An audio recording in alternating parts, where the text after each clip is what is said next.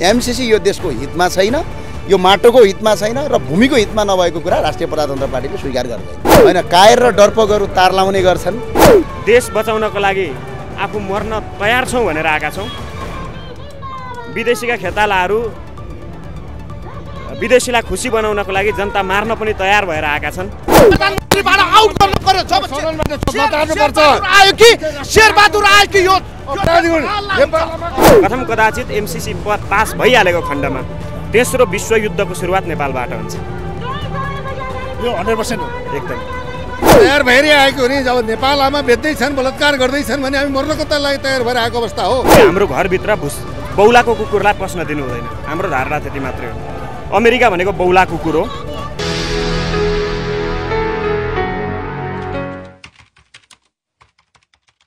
आदरणीय दर्शक महानुभावहरू नमस्कार तपाईँहरू हेर्दै हुनुहुन्छ सुनौलो खबर दर्शक महानुभावहरू अमेरिकी सहयोग परियोजना एमसिसी एकातर्फ संसदमा टेबल भइसके पछाडि त्यसको विषयमा छलफल भइरहेको छ र पास हुन लागेको अवस्था छ भने अर्कोतर्फ यहाँनिर एमसिसीको विरोधमा आम नागरिकहरू व्यक्तिहरू विभिन्न सङ्गठनहरू र विभिन्न पार्टीहरू भने एमसिसी पूर्ण रूपले खारेजी हुनुपर्छ भन्ने माग राख्दै सडकमा आइरहेका छन् आज माइतीगढदेखि बानेश्वरसम्म विभिन्न व्यक्तिहरू सङ्गठनहरू र पार्टीहरू गरी हजारौँको सङ्ख्यामा यसरी नागरिकहरू उपस्थित भएका छन् र हामी तपाईँहरूमा आज एमसिसीसँग सम्बन्धित रहेको यो भिडियो सामग्री देखाउन गइरहेका छौँ। दर्शक महानुभावहरू यतिखेर पनि पवर महलमा आइपुगेका छौँ हामी र यहाँनिर राष्ट्रिय प्रजातन्त्र पार्टीले पनि एमसिसीको विरोध र एमसिसीको खारेजको लागि चाहिँ आफ्नो प्रदर्शन राखिरहेको छ र यतिखेर हामीसँग कुराकानी गर्नको लागि राप्रपाका सुशासनतर्फका प्रवक्ता हुनुहुन्छ ज्ञानेन्द्र साईजी। उहाँसँग कुराकानी हामी तपाईँहरूमा देखाउन गइरहेको छौँ। ज्ञानेन्द्र साईजी स्वागत छ यहाँलाई कार्यक्रम हस् धन्यवाद। एमसिसीको विरोधमा राप्रपा यसरी सडकमा आइरहेको छ। केही धारणा राखिदिनुहोस् न। राष्ट्रिय प्रजातन्त्र पार्टी यो राष्ट्रका हितमा छ। यही माटोमा जन्मेको पार्टी कोही छ भने त्यो हो राष्ट्रिय प्रजातन्त्र पार्टी। कोही पार्टी विदेशमा जन्मे कोही रसियाका सिद्धान्त मान्छन् कोही बेलायतका सिद्धान्त मान्छन् कोही चाइनाका सिद्धान्त मान्छन् तर यो देशको सिद्धान्त मान्ने एउटै पार्टी हो राष्ट्रिय प्रजातन्त्र पार्टी। एमसिसी यो देशको हितमा छैन यो माटोको हितमा छैन र भूमिको हितमा नभएको कुरा राष्ट्रिय प्रजातन्त्र पार्टीले स्वीकार गर्दैन। ज्ञानेन्द्र साईजी तपाईँ विगतदेखि नै एउटा आफू व्यक्ति हुँदै अभियान हुँदै आज पार्टीमा तपाईँ आबद्ध भएर चाहिँ यसरी नागरिकहरूसँग सडकमा आइरहनु भएको छ। म एउटा प्रश्न गर्न चाहन्छु र ज्ञानेन्द्र साईजी हिजो व्यक्तिगत रूपमा आउँदाखेरि अभियानको रूपमा आउँदाखेरि र आज पार्टीगत रूपमा यसरी नागरिकहरूमा आउँदाखेरि तपाईँले कस्तो महसुस गरिरहनु भएको छ? महसुस राम्रो भएको छ। हिजो एक्लै थियौँ आज सिङ्गो पार्टी छ। है? यही हो। हिजो एक हातले लड्थ्यौँ हिजो हामी एक्लै बोल्थ्यौँ। एक्लै कराउँथ्यौँ आज सिङ्गो पार्टी बोल्छ पार्टी कराउँछ। हिजो मुद्दा मात्र उठाउँथ्यौँ अब हामी कार्यान्वयन गर्छौँ। यही हो फाइदा। ठिक छ। ज्ञानेन्द्र साईजीलाई म अर्को एउटा प्रश्न के गर्न चाहन्छु भने हिजोको दिनमा आउने पनि यिनै व्यक्ति हुन् आजको दिनमा आउने पनि यिनै व्यक्ति हुन्। हिजो व्यक्तिगत हिसाबले आफ्नो विचार राख्नुभयो। ती व्यक्तिहरू अलिक फरक होलान् आज पार्टीगत हिसाबले जोडेर आएका होलान्। हिजो गणतन्त्रवादी भनेर भनिरहँदाखेरि आएका व्यक्तिहरू र आज राजावादी भनेर आइ आइरहँदाखेरिको त्यो फरक चाहिँ बताइदिनुहोस् न। अब एउटा कुरो यस्तो हो नेपालमा कस्तो बनाइदियो भने गणतन्त्रवादी राजावादी भन्दा नि पहिला सबै हामी नेपालवादी हौँ। है? राजावादी कोही पनि हुँदैन राज संस्था हुन्छ। राजावादी भइदियो भए त राजाले पार्टी खोल्थ्यो होला नि त। राजाले त पार्टी खोलेनन्। माओवादी हुन्छ किनभने त्यो पार्टी हुन्छ। अन्य काङ्ग्रेसवादी हुन्छ त्यो पार्टी हुन्छ। राजा कहिले पनि वादी हुँदैन।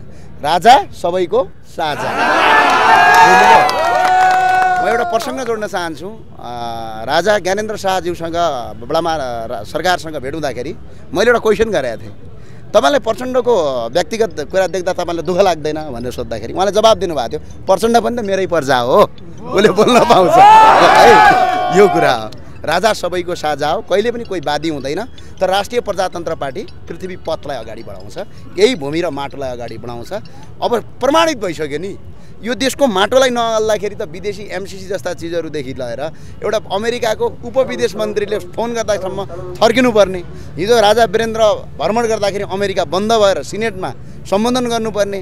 राजा महेन्द्र जाँदाखेरि डाइनाले घुँडा टेकेर सम्मान गर्नुपर्ने अनि हाम्रा देशका राष्ट्रपति जाँदाखेरि गेटमा उभिएको पालेले पनि स्वागत नगर्ने कुरा त प्रष्ट देखियो। राष्ट्रवाद यो देशमा आवश्यक छ।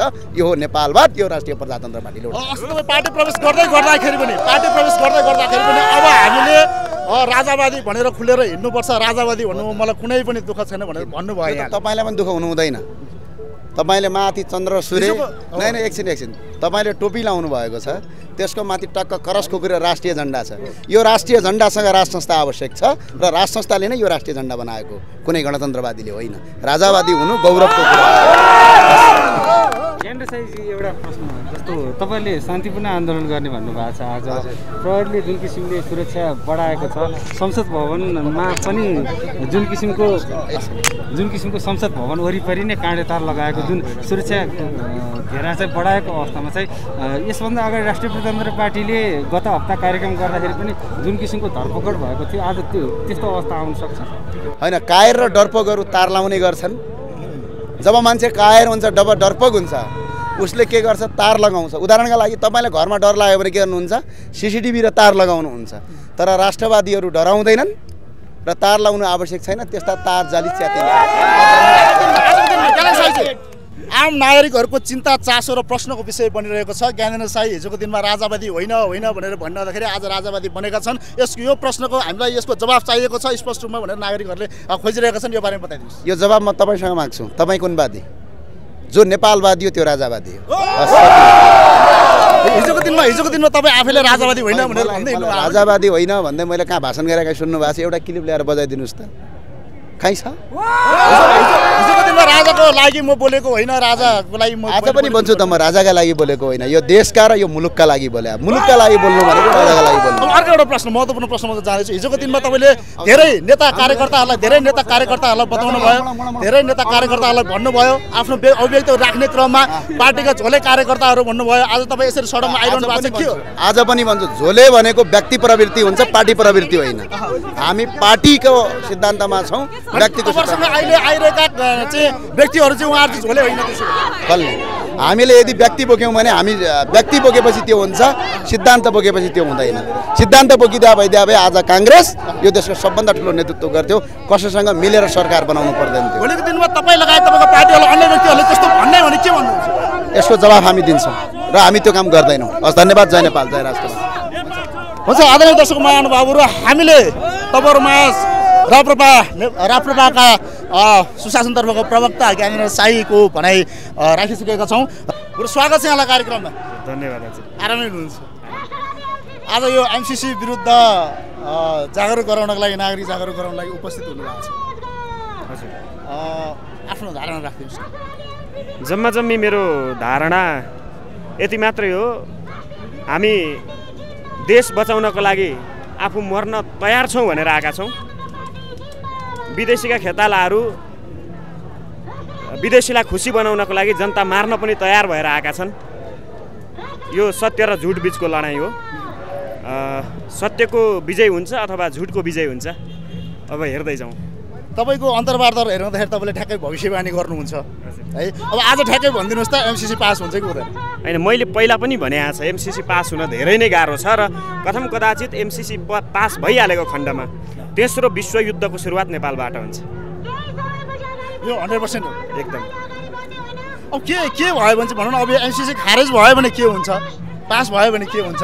अब हाम्रो नेताहरूले जुन संसदमा संसदभित्र रहेका नेताहरूले चाहिँ यो साँच्चै नै खारेज गर्लान् कि? अथवा यो खारेज गरिसके पछाडि उहाँहरूको अवस्था कस्तो रहन्छ? खारेज नगर्दा उहाँहरूको अवस्था कस्तो रहन्छ? होइन हाम्रो देशमा केही होस् या नहोस् तर हामीले हाम्रो घरभित्र भुस बौलाको कुकुरलाई पस्न दिनु हुँदैन। हाम्रो धारणा त्यति मात्रै हो। अमेरिका भनेको बौला कुकुर हो। यदि बौला कुकुरले घरभित्र पसेर हामीलाई टोक्यो भने हामी पनि बौलाउँछौँ।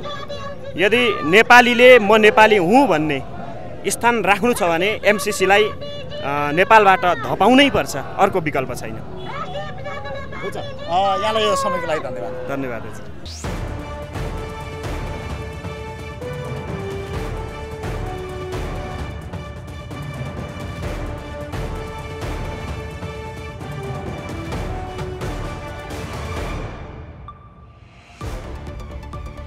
तपाईँको परिचय दिनुहोस्। म कृष्ण कृष्ण कृष्णपन्थी म चाहिँ यो एमसिसीको विरुद्धको अभियानमा चाहिँ आज चाहिँ रोडमा आएको अवस्था छ होइन? तपाईँको अभियानको हिसाबले आउनु भएको छ व्यक्तिगत हिसाबले आउनु भएको छ हाम्रो एउटा समय समयको हिसाबमा आएको छौँ होइन? तपाईँहरूको आन्दोलन परिस्थिति तपाईँको अ, आन्दोलनको प्रक्रिया चाहिँ कस्तो? यहाँनिर अहिले हुलदङ्गा भइरहेको अवस्था छ। तपाईँहरू पनि प्रहरीसँग मुठभेड गर्नको लागि तयारी हुनुहुन्छ अथवा शान्तिपूर्ण रूपले हो तयार भएरै आएको हो नि। जब नेपाल आमा बेच्दैछन् बलात्कार गर्दैछन् भने हामी मर्नको त लागि तयार भएर आएको अवस्था हो। यसले राम्रो सन्देश दिन्छ। राम्रो। राम्रो यो राम्रो हो। यो राम्रो होइन। राम्रो होइन। देशका राष्ट्रिय चाहिँ के भन्दा गद्दारहरूले आफ्नो नेपाल आमालाई बलात्कार गर्नको लागि गराउनको लागि परचक्रीलाई जिम्मा दिनको लागि बेचिरहेका छन्। टेबल टेबल टेबलमा चाहिँ मतदान हुने क्रम जारी छ। देशको प्रधानमन्त्री उच्च स्तरीय नेता बिकेका छन्। चाहिँ के भन्दाखेरि यसलाई चाहिँ के भन्दाखेरि हामी चाहिँ छैनौँ कतिजना मान्छे मान्छे मारोस् के भन्दा देशको सवाल हो राष्ट्रको सवाल हो देश नरहने सवाल। हो उनीहरूले के भन्दाखेरि जति ढुङ्गा हान्छ हामी मर्न तयार छौँ छोड्नेवाला छैनौँ। हामी त्यो प्रधानमन्त्री शेरबहादुर देउपालाई घिसार्छौँ लतार्छौँ। मार्नै पर्छ। जब शेरबहादुर देउवा प्रधानमन्त्री। भएदेखि आज देशलाई जब। शेरबहादुर आउँछ देश यो परिस्थिति निकाले। हुलदङ्गा देखेको छ आदरणीय दर्शक महानुभावहरू हजारौँको सङ्ख्यामा आएका यसरी आन्दोलनकारीहरू यसरी अस्त व्यस्त भइरहेका छन् दर्शक हामीले